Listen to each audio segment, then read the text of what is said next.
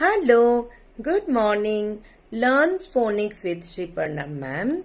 This is 51st episode, episode number 51 and we were discussing why the presence of y is uh, or your sound is differently uh, pronounced in different situation and that we are going to discuss once again we will see when uh, y is coming at the last. And before it there is a vowel. Then sometimes y is not changed and the suffix ed is added. Like play. P l a y. So play play. And ed is added played. But it is not changed into ID, right?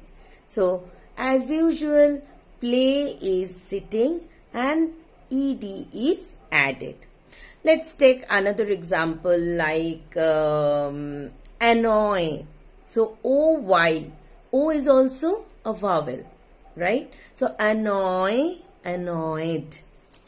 But uh, sometimes we can see some variations or some exceptions like try, tried. Try, when it is added, y is vanished, right? Then only tr, ied is added, tried. Correct? Um, carry, when ed is added then it is carried. Ka k a ka r r i aid. Okay? So carried. Carry is ending with y. But when uh, a vowel is there still it is changing its sound and the spelling also carried. Okay?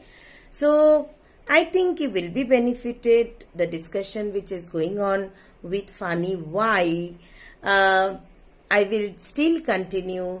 There are something uh, waiting with why and let's see what will be coming in the next episode. Thank you so much. Love you all. Bye bye.